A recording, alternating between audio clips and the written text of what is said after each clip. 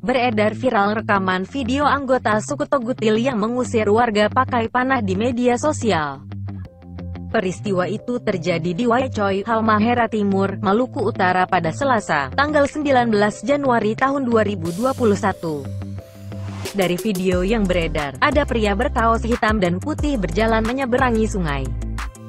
Tiba-tiba, seorang pria diduga anggota suku Togutil keluar dari hutan sembari melesatkan anak panah.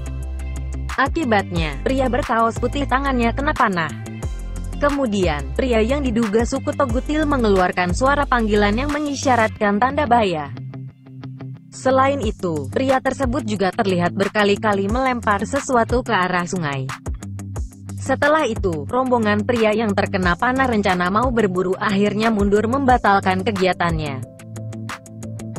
Selanjutnya, pria yang diduga suku Togutil kembali masuk ke hutan. Warga yang hendak berburu tak sengaja bertemu dengan suku Togutil.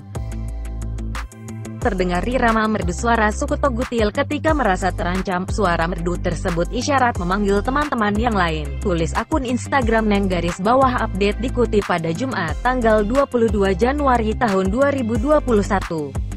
Diketahui, suku Togutil adalah kelompok adat yang hidup di hutan Halmahera secara nomaden. Kehidupan mereka bergantung pada hutan dan sering kali bermukim di pinggir sungai. FIFA.co.id Jadi bagaimana menurut Anda?